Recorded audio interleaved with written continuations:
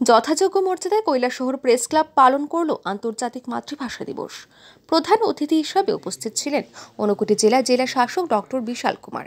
এছাড়া উপস্থিত ছিলেন কৈলাসহরের মহকুমা শাসক প্রদীপ সরকার, বাংলাদেশ থেকে আগত সাংবাদিক বিকুল চক্রবর্তী, সঞ্জয় দে, মজিবুর রহমান রঞ্জু সহ বাংলাদেশের মৌলভীবাজার জেলার শ্রীমঙ্গল উপজেলা প্রেস ক্লাব এবং শমশোরনগরের এক ঝাঁক সাংবাদিক ও সাংস্কৃতিক ব্যক্তিত্বরা এদিন অনুষ্ঠানে বক্তব্য রাখতে গিয়ে জেলা শাসক বিশাল কুমার বাংলা ভাষার ভূয়সী প্রশংসা করেন उत्तर भारत में बोला जाता है कि अगर दो बंगाली लड़ाई भी करते हैं तो लगता है कि एक दूसरे से प्यार से बात कर रहे हैं तो इस तरह की जो मीठी बोली है वो मन को छू जाती है और अ, मैं भी इस भाषा को सीखने की अपनी पूरी कोशिश कर रहा हूँ और अ, मैं खासकर जो मेरे जूनियर कलीग्स हैं, जो बच्चे हैं, उनसे भी रिक्वेस्ट करूँगा कि आप जितनी भाषाएँ सीखो, उतना ही आपका जो दिमाग है, वो ब्रेन डेवलप होता है।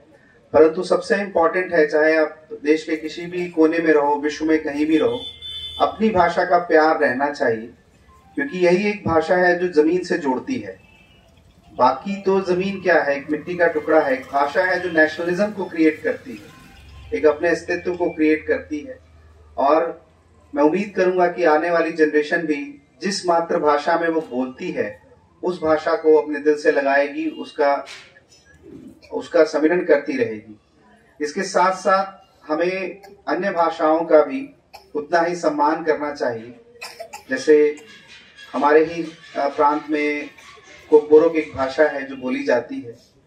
तो हम सभी जितने भी यहाँ पे त्रिपुरावासी हैं हम दोनों ही भाषाओं का बहुत ही ज्यादा सम्मान करते हैं অনুষ্ঠানে বাংলাদেশের শ্রীমঙ্গল উপজেলা প্রেস ক্লাবের পক্ষ থেকে বাংলাদেশের সাংবাদিকরা ঊনকোটি জেলার জেলা শাসক বিশাল কুমার এবং মহকুমা শাসক প্রদীপ সরকারকে মানপত্র দিয়ে সংবর্ধনা প্রদান করেন এবং এই দুজনের হাতে বাংলাদেশের মিষ্টি তুলে দেন ব্যুরো রিপোর্ট আর ই নিউজ